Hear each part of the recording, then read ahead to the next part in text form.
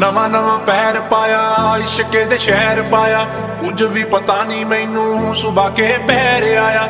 ਪਹਿਲਾਂ ਪਹਿਲਾਂ ਡਾਰੇ ਲੱਗਾ, ਖੁਦ ਨੂੰ ਮੈਂ ਗੈਰ ਪਾਇਆ। ਤੂੰ ਹੱਥ ਫੜਿਆ ਤੇ ਸਾ ਮੈਨੂੰ ਫੇਰ ਆਇਆ।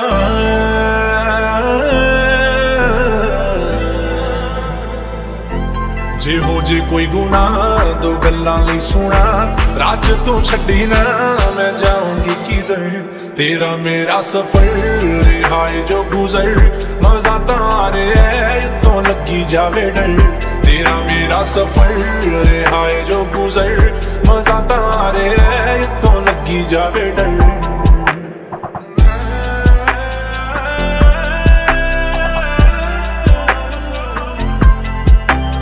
ਉਹ ਸਫਰਾਂ ਤੇ ਆਣਗੀਆਂ ਬਹੁਤ ਪਰੇਸ਼ਾਨੀਆਂ। ਕਦੇ ਕਰੇ ਤੂੰ, ਕਦੇ ਮੈਂ ਕਰੂੰ ਨਦਾਨੀਆਂ।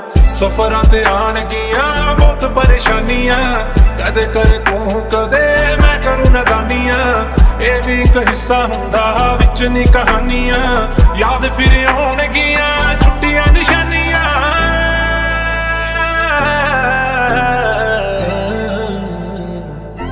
ਹੋ ਦੇਵੀ ਤੂੰ ਸਿਖਾ ਕਿਵੇਂ ਚੱਲਣਾ, ਪਿੱਛੇ ਨਹੀਂ ਹਟਣਾ, ਜਸ ਕਰੀ ਤੂੰ ਸਬਰ। ਤੇਰਾ ਮੇਰਾ ਸਫਰ ਰਿਹਾਏ ਜੋ ਗੁਜ਼ਰ, ਮਜ਼ਾ ਤਾਂ ਆ ਰਿਹਾ ਤੋਂ ਲੱਗੀ ਜਾਵੇ ਡਰ। ਤੇਰਾ ਮੇਰਾ ਸਫਰ ਰਿਹਾਏ ਜੋ ਗੁਜ਼ਰ, ਮਜ਼ਾ ਤਾਂ ਆ ਰਿਹਾ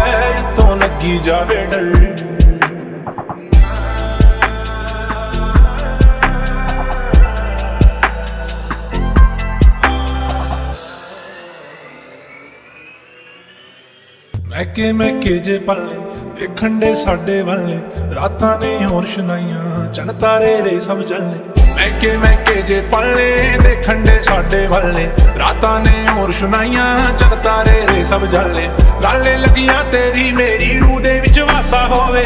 ਮਨ ਤੇਰੇ ਨਾਲ ਤੇ ਤੇਰੇ ਨਾਲ ਹੀ ਮੇਰਾ ਆਸਾ ਹੋਵੇ। ਦੋ ਤਰਫਾ ਇਸ਼ਕ ਕਦੇ ਵੀ ਨਾ ਇੱਕ ਪਾਸਾ ਹੋਵੇ।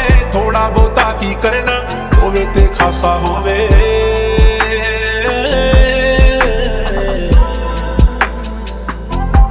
ਤੇਰਾ ਜੋ ਰਸਤਾ ਮੇਰਾ ਉਹ ਰਸਤਾ ਖੁਦਾ ਦਾ ਵਾਸਤਾ ਨਾ ਜਾਏ ਤੁਮ ਪਰ ਤੇਰਾ ਮੇਰਾ ਸਫਰ ਰਿਹਾਏ ਜੋ ਗੁਜ਼ਰ ਮਜ਼ਾ ਤਾਂ ਆ ਰਿਹਾ ਹੈ ਇਤੋਂ ਲੱਗੀ ਜਾਵੇ ਡਰ ਤੇਰਾ ਮੇਰਾ ਸਫਰ ਰਿਹਾਏ ਜੋ ਗੁਜ਼ਰ ਮਜ਼ਾ ਤਾਂ ਆ ਰਿਹਾ